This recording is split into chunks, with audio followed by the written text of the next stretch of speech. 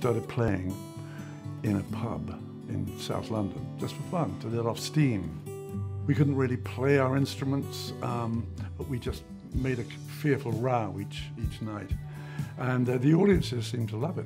We signed a, a, recording contract with EMI Records, released a couple of uh, singles, and uh, grabbed a television series called Do Not Adjust Your Set.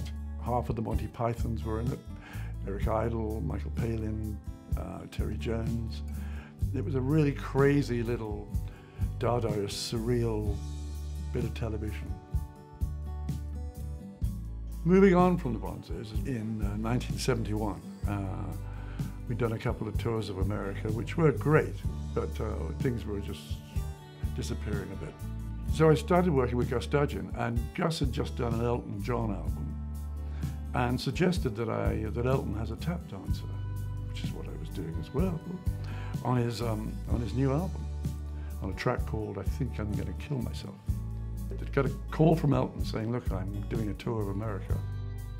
Uh, will you come and uh, tap dance on my tour?" So I got some outfits made, jumped across the Atlantic in a first-class aeroplane and uh, Elton and I just did the most wonderful tour in 1972.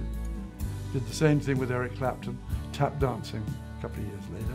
Probably the most favorite time of my life was when I was doing these tours in America because they were just absolutely mad, mad times.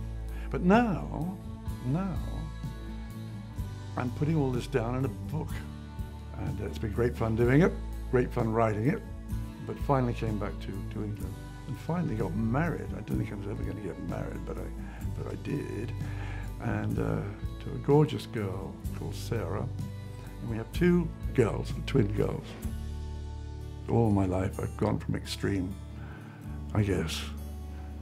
I've been rich, I've been poor, I've been sober, I've been drunk.